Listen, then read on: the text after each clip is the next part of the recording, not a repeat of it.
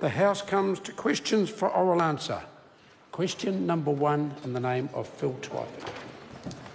Thank you, Mr Speaker. My question is for the Minister for Social Housing. Does she stand by her statement on emergency housing? We are on track to have 8,600 places across the country available.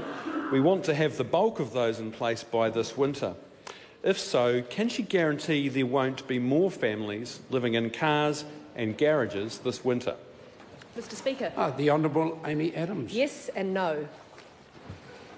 Supplementary. Supplementary question, Phil Twyford. Were the emergency housing providers wrong when they warned recently that more homeless families will be sleeping in cars, parks, and garages in Auckland this winter because of a desperate shortage of affordable rentals?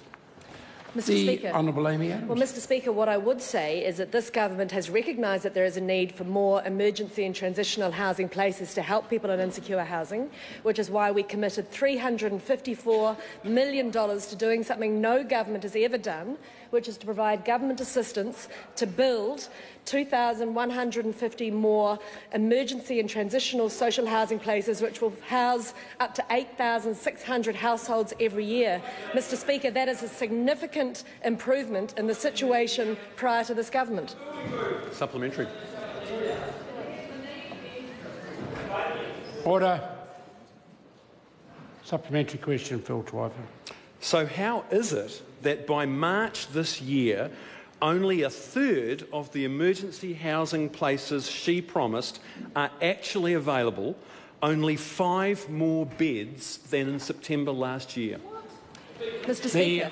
Honourable Amy Adams. Mr Speaker, that's because where these have to be new houses and the MSD teams are in the market looking flat out for every available piece of land, every available provider. We have the money available, right. but we have to find the real estate and building and bringing new houses to market doesn't happen quickly. We are moving at pace and over the period the member quotes, we've actually delivered 90 new places, but as some contracts has come to a close, uh, that has seen the net number change. As I've said, Mr Speaker, we're on track to have the Five bulk of our new places available for winter. Yeah, very good. Supplementary.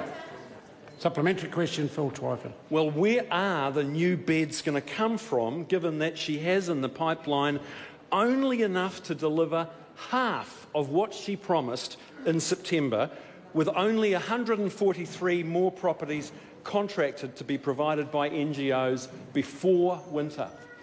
Mr The Speaker. Honourable Amy Well, Mr Adams. Speaker, I dispute the member's characterisation because actually our indications are that we're well on track to have at least 1,700 of those 2,100 in place for this winter, and we're working hard to ensure even more are in place for this winter. That is the commitment we've made to have the bulk of them in place, and I have every confidence that we'll do that.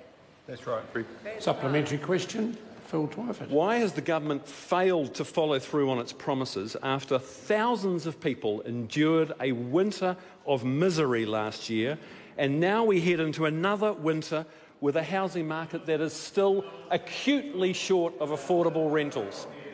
Mr The Speaker. Honourable Well, Amy Mr. Adams. Speaker, the government hasn't failed to deliver on its promises. In fact, it's done exactly what it promised to do, which is to put $354 million of new money into funding an area that's never been funded previously to build 2,150 places That's across New Zealand, which will house 8,600 families every year, and we're well on track to have the bulk of those in place by this winter. Mr Speaker, that's exactly what we promised. We're doing it, something that the Labor government failed to do in all its time in office, despite clear evidence of need.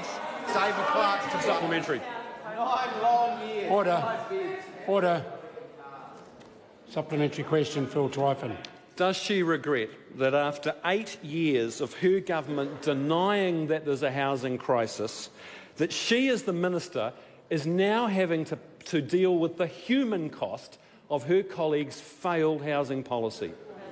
Mr Speaker. The Honourable Amy Mr Speaker, well, we're absolutely clear that there is a need for emergency and transitional funding, which is why we're putting $354 million into it. Yeah. But let's be clear, this is not a new problem, Mr Speaker. What is new is that this is a government that is actually doing something about it, whether it's through Minister Smith's uh, land use development proposals and bringing on available capability.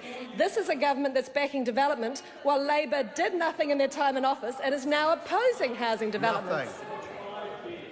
Supplementary. Supplementary question. The Honourable Michael Woodhouse. To the Minister, what reports has she seen of people living in cars?